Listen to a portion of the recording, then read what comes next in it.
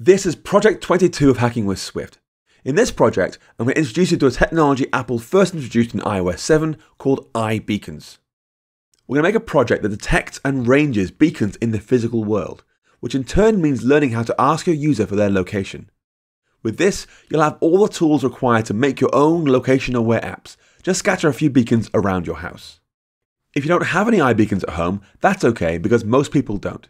Instead, I recommend you install the app Locate Beacon on your iPad or iPhone, because that comes with an iBeacon transmitter built in, making it perfect for testing. You also need an iOS device that's compatible with iBeacons, which is any modern iPhone or iPad. I'm afraid though, the iOS simulator won't work with iBeacons, but you can at least follow along with the code.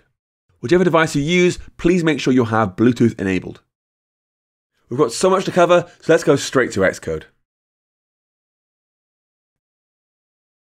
Choose Create a new Xcode project. Select iOS, Single View App, then press Next. Call this thing Project 22, then press Next. And create on your desktop.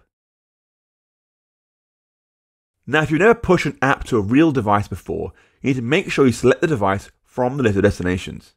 You can do this by selecting up here, this is where the device menu is. And by default, if there's no device plugged in, it'll be a simulator like the 10R or the SE or the 8 Plus or whatever. At the top is the device list, and when your iPhone is plugged in, you should see it right in there. Now, if you see the word ineligible in there, it means your device is running an older version of iOS than your project's designed for. So you have to go to your project settings here and change deployment target from, say, 12.2 down to an older version that your device actually supports.